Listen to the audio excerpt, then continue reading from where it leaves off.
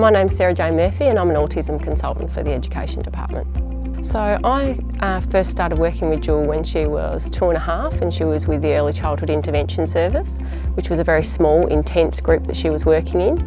And part of my role was to support her transition into a mainstream school. She commenced at Burnie Primary School in the kindergarten year and we always knew that it was going to be a slight challenge for her. And so when she commenced, it, we did that in a really graduated process, so she came in for small blocks of time until she was ready to transition into full days of kindergarten.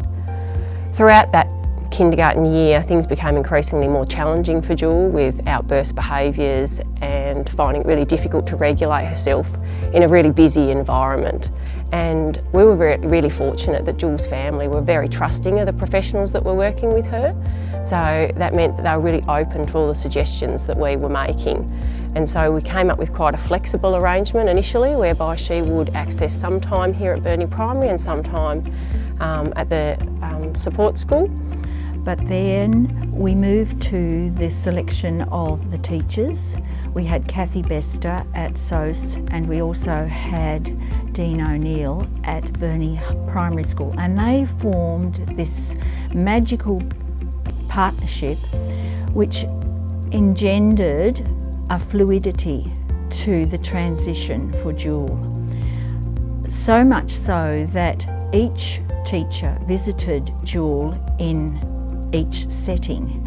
And so the IEP goals were completely seamless and streamlined and were taken on board and put together by both teachers. We came to realise that her time at SOS, we were seeing huge improvements in behaviour. She was being exposed to um, lots of great community access visits which were really giving her all the skills she needed to transition back to mainstream school.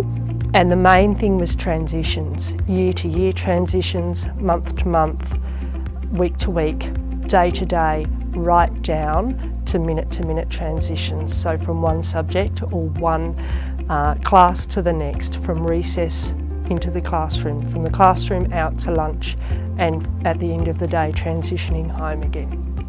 The key factors included some really important points. Uh, relationships, it was building relationships between Jewel and staff and students, Jewel's parents, um, any of the people that were working with Jewel, um, and we needed to build that trust.